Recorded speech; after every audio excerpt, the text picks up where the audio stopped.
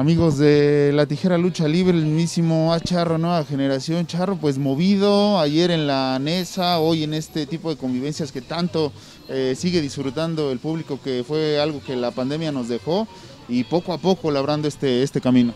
Así es, gracias a Dios se abre muchísimo trabajo para el Acharro. Creo que vengo haciendo las cosas muy bien.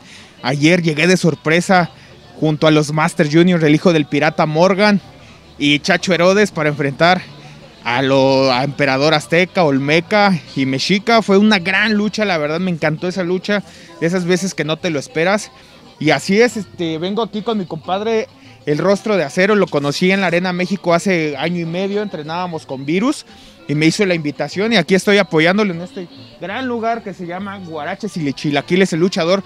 La verdad, eh, soy cliente frecuente, vivo muy cerca de aquí y aquí vengo a comprar siempre con mi compadre y pues se los recomiendo. Poco a poco lo mencionas, ¿no? Labrando el camino, a veces estas historias que, que, a veces uno no conoce detrás de cada luchador, ahorita lo comentas, conoces a Rostro de Acero desde hace algunos años, estando en la Arena México, o sea, picando piedra en varios lugares hasta, repito, poco a poco irse ganando un lugar. Así es, la verdad es que sí le he estado picando piedra. Eh, una de mis metas es entrar al Consejo Mundial de Lucha Libre, abiertamente lo digo. Eh, pedí la oportunidad para la Arena Naucalpan, ya me presenté en la Arena Naucalpan, inclusive hasta en una lucha estrella en contra de los negociantes y por qué no, el Consejo Mundial de Lucha Libre es algo que he estado esperando desde hace mucho tiempo. Ya vi que varios compañeros de nuestro grupo ya debutaron, como el Cachorro Lagunebro, como los Gemelos Diablo, ellos entrenaban con nosotros y por qué no, el Acharro puede estar ahí, ¿no?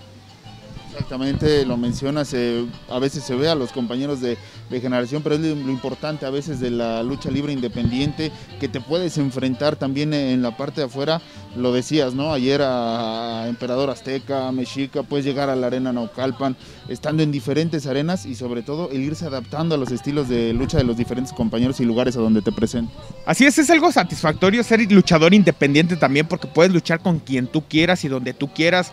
El 4 vamos a Monterrey, va a estar presente el Demonio Fresero, el DMT, he estado en carteles donde he estado luchando con los del Consejo, al otro día con inclusive he luchado con, con los eh, elementos de AAA. Es una ventaja que te puedes abrir camino. La verdad eh, es muy padre, pero creo que he estado picando, como les voy a repetir, piedra en la escuela del Consejo Mundial de Lucha Libre. Y entonces yo tengo la mira ahí. Voy a disfrutar el tiempo que tengo que disfrutar como independiente. Estoy muy a gusto siendo luchador independiente, pero ¿por qué no? Pertenecer algún día a las filas del Consejo Mundial de Lucha Libre. Así como se encuentran luchadores de diferentes estilos, también se encuentra al público, ¿no? A veces el público que te encuentras puede haber eh, arenas que, apoyen demasiado al luchador, arenas, por llamarlo de alguna manera, hostiles, que, que se sienta un poquito la, la, tensión también ahí en esa parte. Así es, cada, cada, cada arena tiene diferente público, ¿no? Uno de... El público más para mí que reconoce el trabajo de luchador es el que se presenta en cada arena, no los que están detrás de Facebook, YouTube.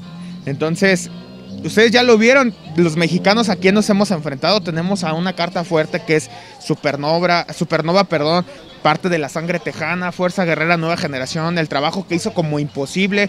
Yo me estoy metiendo al grupo y, he demostrado que he tenido los pantalones para enfrentar tanto elementos como de AAA como del Consejo Mundial de Lucha Libre y tengo a la mira al último guerrero y por eso quiero ir al Consejo Mundial de Lucha Libre.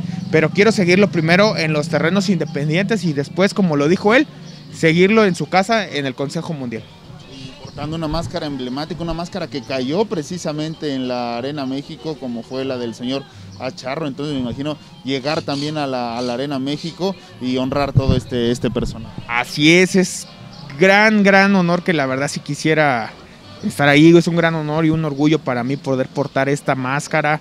Creo que y no creo, más bien he estado sacando el nombre a flote, no lo he dejado abajo, no me he achicado a mis rivales, les he respondido al tú por tú, a pesar de que son más altos que yo, eh, que tienen más cuerpo que yo y no me he rajado y ustedes lo saben, como buen mexicano yo no me rajo y he enfrentado a buenos rivales de buen tonelaje y los he hecho sangrar en el, eh, arriba del ring.